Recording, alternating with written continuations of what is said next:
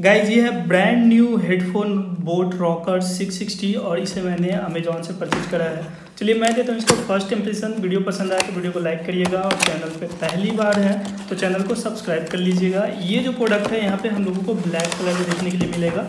सबसे पहले यहाँ पे कुछ बॉक्स कंटेंट की बात करें तो सिंपली आपको सी टाइप चार्जिंग केबल मिलता है और ऑक्स केबल देखने को मिलता है और बाकी का आपको यहाँ पे कागज़ पत्थर देखने को मिल जाता है। इसे मैं कर देता हूँ। ये रखा मिलता है अपना ईयरफोन और आई थिंक इसका जो कलर और डिज़ाइन है, यहाँ पे आपको काफ़ी सही मिलता है। ये आपको एक घंटे चार्ज करते हैं तो आपको साठ घंटे तक का बैकअप मिलता है। अगर यहाँ पे इसकी बिल्ड क्वालिटी की बात करें तो आपको पूरा प्लास्टिक से बना हुआ मिलता है, और ये जो आप फॉर्म देख रहे हैं, यहाँ पे आपको काफ़ी स्मूथ देखने को मिल जाता है। और ये जो ईयर हेडफोन है, मेरे को काफ़ी सही लगा, और इसके अंदर आपको ऑक्स एंड ब्लूटूथ से दोनों से ही कम्प्लीटली यूज़ किया जा सकता है।